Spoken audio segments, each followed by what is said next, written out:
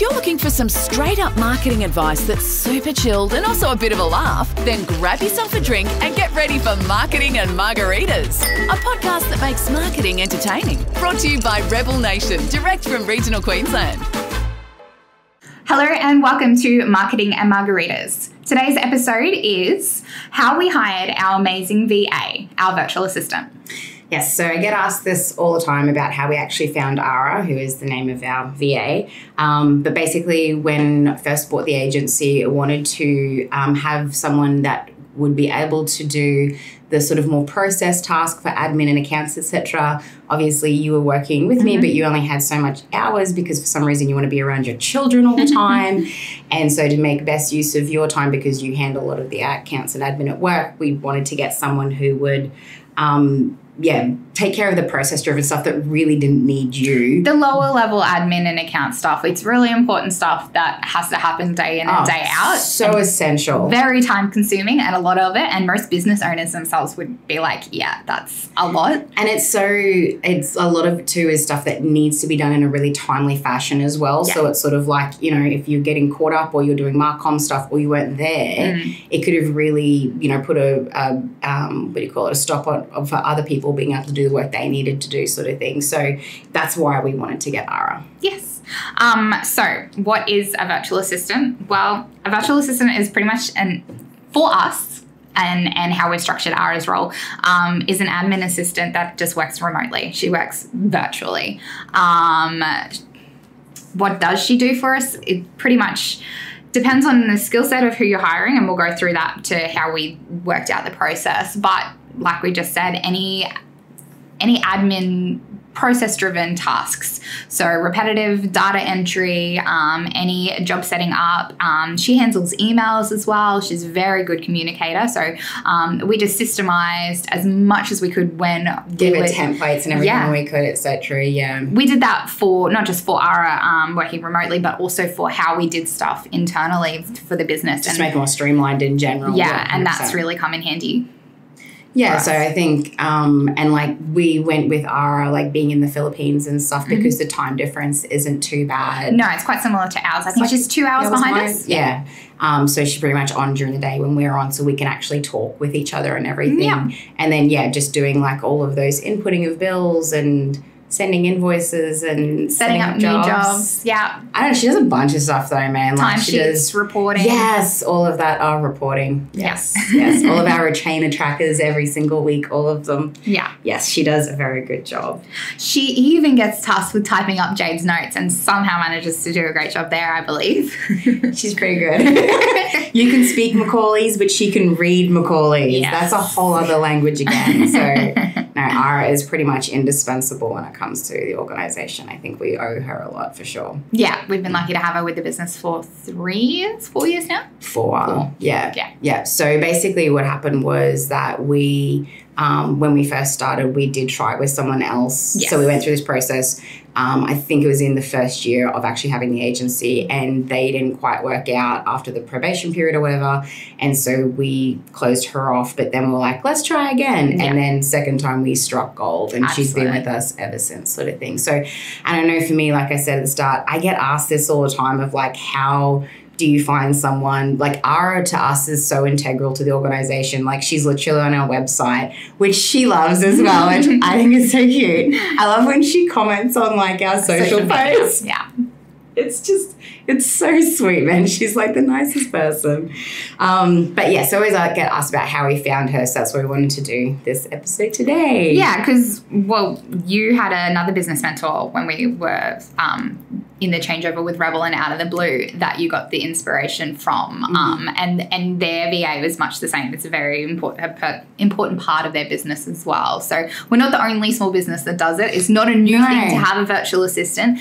And there is, it's just outsourcing work. And the way we've structured it is she's a part of the team. Yeah, and that's and people don't have to do it. Like No. I know there's lots of people who have like VAs and stuff like that behind the scenes or That are whatever. more contractors or yeah. Whereas we choose to have like yeah, Ara's on our website. She deals directly with clients when needed for things Yeah. like where you know we're more than comfortable having her in that kind of space. But that's also not like immediately from day one too. No. Like that was definitely a process of growing the relationship and stuff too. Make sure you have the right person. and the trust, like I think you know, Mm. that's kind of the same when you're onboarding anyone. You don't give them the keys to the kingdom the first day.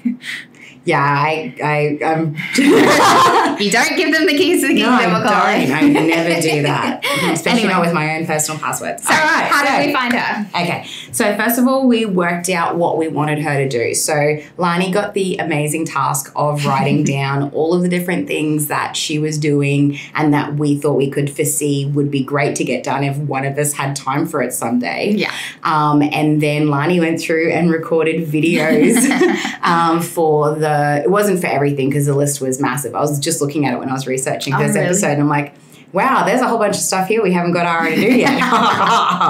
um, but yeah, so you did videos for like the starting tasks that we knew would be important. So Yeah. like setting up jobs, how to do an invoice, that type of thing. I found videos were a good way of doing it because you could. It's, it's like one-on-one training essentially that they can pause and replay, um, so they can go back and forward. You when you type something out, it can be a little bit more long-winded or technical, and and pasting in screenshots can get a little bit overwhelming. Yeah, Whereas 100%. stepping someone through in a video can be quite, I guess, a they just follow more. along with as well. I think you know, like if you say, "Oh, click this button, click this link, etc." Yeah, and you're I like, "Wait, wait, where where would yeah. that link be?" Sort of thing, and it's like, "Oh, it's right there." And whereas, yeah, on a video, you're like, "Click this link, Yeah. click that," um, and I just think that you know, when you work, when you're onboarding anybody, not just Mm-hmm. someone who has a different, you know, working um, remotely. yeah, working remotely, or even like the language barrier and stuff Yeah. like that, because you know English is her second language. Um, it was having really clear steps, really clear expectations, and being really like clear on what we wanted her to do and how to do it. Yeah. So just trying to make things from her perspective. Like I said, with anyone who new is starting, like everyone does better if they know exactly what you expect from them and you know how to actually do that for you. Yeah.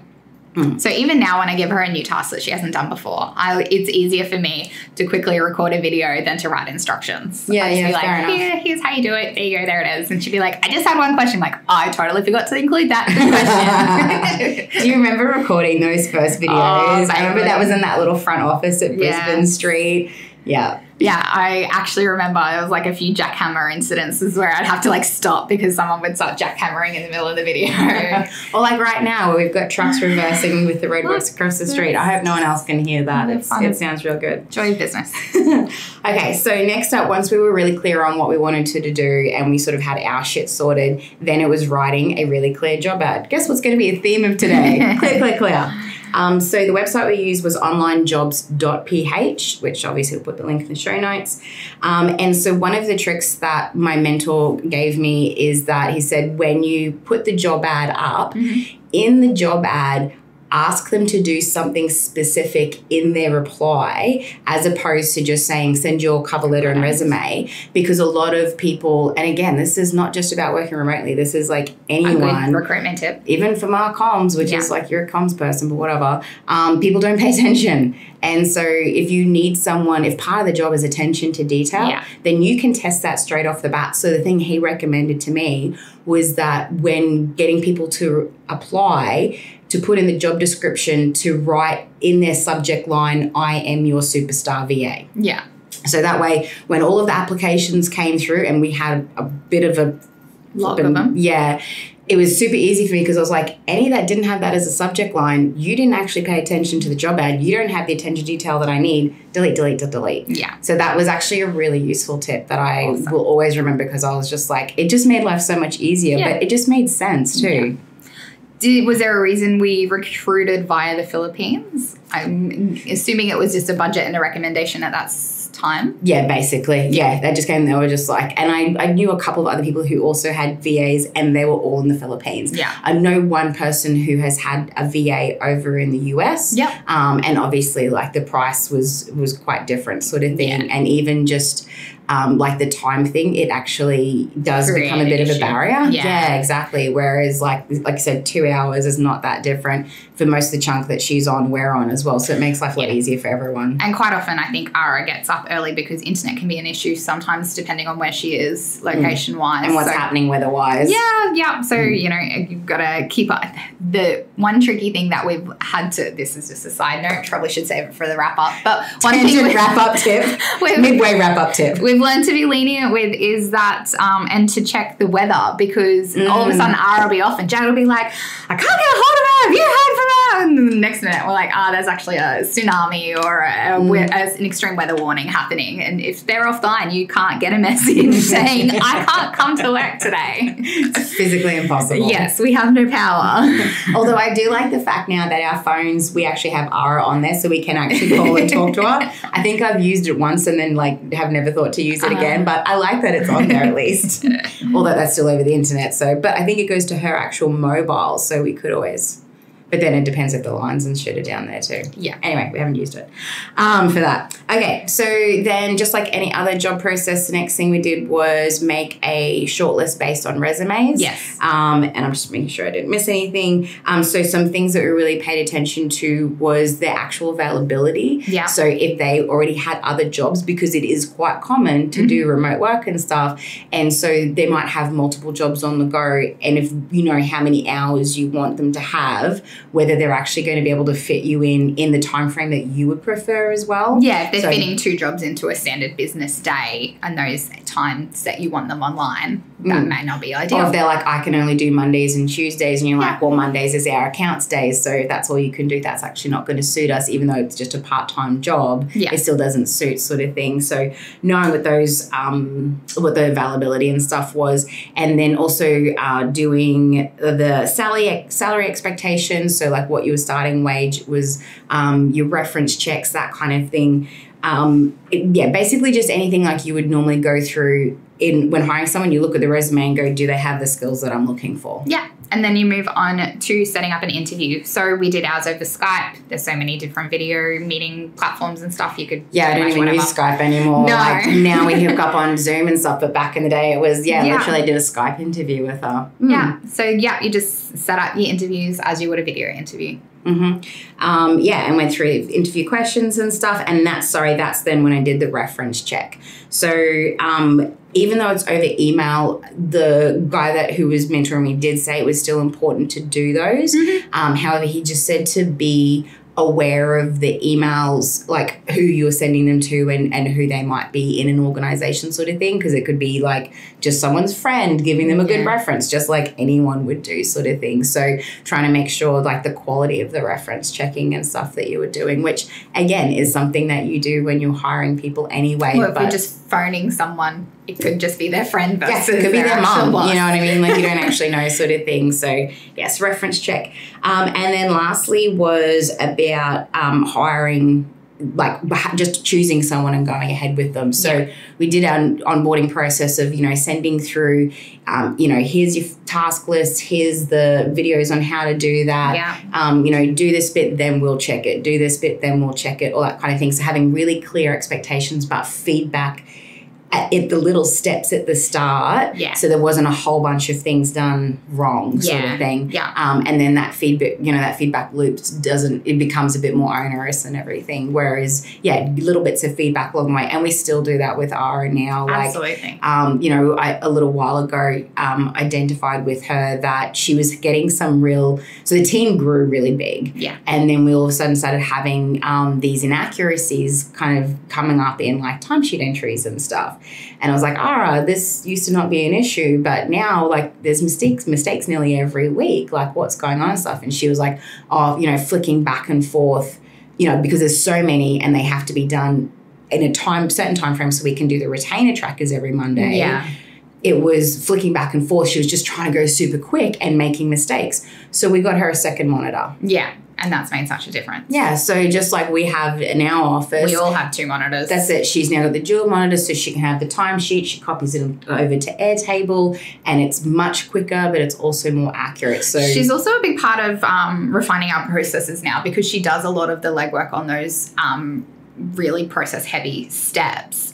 Like um, this week, I was touching base with her. I was setting up a new process for a new team member um, in regards to some reporting, and I actually checked it all with her first. I'm like, this is what I'm going to set up as a template. This is what I'm going to instruct them to do. Is this what you need to do your part of the thing? And she was like, that's not ideal if we change it to this. And, and we negotiated and worked out how to do it best. Because at the end of the day, I've asked her to do this thing. I want to make it as easy and as efficient for her as possible and be doing. So it gets done the way that you want. Yeah. And it works out for yeah everybody. yeah, just because she's a VA doesn't mean I want to waste her time or, or have any errors there either. So yeah, she's become a big part of that. And I think too, like with Ara, like it did take a little while for her to be able to give us feedback, feedback and feel comfortable. Sort of, I, I don't think that was is potentially a very common circumstance um, for her family and friends. Like the relationship that we have with her, from what the conversations I've had with her, are very different to how others get treated. And so at the start, it was like we'd be like, oh, you know, how to improve this, and she'd be like, everything is fine, everything is fine. Yeah. Whereas like it's now she and she's extremely polite. Like it's that politeness level has not changed at all. She's probably the most polite fucking person I've ever spoken to in my life. Consistently, even if I'm losing my shit about something, she's so polite the whole time. But you know, now she'll actually kind of give us feedback and everything too, which makes it easier for us because Yeah. then we can actually set things up and whatever. But And I think it's keeping in mind for her, we're a whole business on the other side of a computer on the other side of the world to her. Like we mm. are so like working remotely, even when we did it during COVID and our team was separated, like how there's lots of frustrations, you're not face to face, so you lose the personability with who you're working with. So for her, there's nine of us on the other side of that computer And then just all these her. expectations. Mhm. So it's I think that's important to keep in mind to and and for us creating that relationship is how that we've kept her as part of the business and and ensured that she is happy and doing a good job. Yeah, hundred percent. And I think like you know with Ara, like um, like I said, I remember you know asking her, her to send through the photos so we could put her onto the website or whatever. Yeah. She had no expectation of that. Like Yeah. that was just not something she would ever. It's not like you know she was kind of sooky and going, oh, I guess I'm not part of the team. You know what I mean? Like that was Yeah. never a thing. That was something like Yeah. that we brought her up, like that we wanted to do or whatever. And I just think that it's like anything when you you know treat people well, then they're going to try and give you their best sort of thing. I think we've always had that with her. We hope so. Hmm. well, I think we've got our best. All right, so wrap up tip yes. is don't be afraid to give it a go. Like with anything, it may go amazingly. You may miss the mark first round and have to keep trying. we did. personnel, whether they're virtual assistant or in, you know, within your business, recruiting is hard. Yeah. Finding the right fit is hard. There is no sure fit. And like, you know, some of those tips, like, you know, what website to go to, putting that thing in your subject line, um, still doing a reference check, even though it's by email, like those kind of things can definitely help, but nothing is going to be foolproof. Yeah. So jumping in and having go is definitely worth it. Um, I had a conversation with Ara uh, for her. Um, which was it? We were helping her. We, no, no, we were doing a favor for her with the Yeah. visas and stuff recently, and um, she was telling me about how for her she gets asked by her family and friends all of the time. Um, how did she get such a good paying job and for so long? Yeah. So she's been with us. She's her hours started off I think at like 20, Yeah, 15 to 15, 20. 20 a week. Yeah. And then she does like 20, 30 now. 30. Yeah. I know things. Um, you know, like we've grown her hours. Um, she was working a few, uh, two different jobs plus us at the start. Then she dropped one of them and now we're her only job because we pay more for that than what she would Would- get from other ones sort Yeah. of thing. So, you know, even though we don't have to pay her the rate that we do, we keep doing pay bumps for her to show Yeah. her that we appreciate her as well. Um, we always give her like a bit of extra cash for Christmas And her and her birthday. birthday. Um, we advanced her salary um, for when COVID happened. Her parents um, had to, I think they lost their jobs or something. Yeah, it was financial hardship. Yeah. Yeah, and her and her sister were paying their mortgage out for them, so she asked for an advance, which we were like, you know, take however long to pay back. And she was like, no, this is my three month plan, and then it'll be paid back. And I'm like, you don't have to be, doesn't have to be that quick or that rigid. And she was like, no, this is what I'm doing. Like, So no, you can't have Ara. She's ours. Yeah. But I'm sure there are other fabulous uh, virtual assistants but out that there. so- relationship took time. You know what I mean? Like Yeah, yeah. we show her that we appreciate her. She shows, uh, like you know, obviously she tries to do her best for us, but like it's not just treating someone like a contractor or anything. Like Yeah. she is hundred percent a part of the team. Our business would not run as smoothly as what it does if Ara was not there. yeah. Mm. Pretty much. Hundred percent. All right. Well, I think that was all to wrap it up. Yes. Make it worth a while from her perspective. She loves us from what Jade says. She does. We love her. It was so sweet because she was just like, she goes, Yeah, I get asked all the time, how did I find this job? Because it's so unusual. I get paid more than people who are like proper skilled, like, not that admin and ad counts isn't skilled, but you know what I mean? Like people who have degrees and stuff. She gets paid more than them and she's and she's like, I don't know what to tell them. Like it just I just applied and it worked out. I'm like, yeah, man, like we just fit each other really well. Like, Yeah. Everyone's happy. So if you do have an unsuccessful hire and fire, learn from it. Make notes and and and re review your system and how. Like I know, I can't remember what we did, but I'm assuming that's what we did. I I know we've definitely we had refined. We've refined our normal hiring process, but I think when we when we didn't go ahead with our first I VA, think that we looked at our expectations and our training and that Yeah, a little okay. bit clearer. And that's when I definitely Yeah. did a bit more of those videos for ARA because I think they were more Ah. ARA centric. okay, Um, but yeah, so was uh, a rev- reviewing that process. and doing it better. Yeah. And we did better. You always learn. Mm-hmm. All right. I hope you guys got something out of that episode. Um, have a look at what can be systemized and possibly delegated in your business to a virtual assistant. We love ours. I reckon you'd love one too. Mm-hmm. Cheers. Cheers. Thanks for listening to this episode of Marketing and Margaritas. Find more free marketing tips, tricks, and laughs at rebelnation.com.au.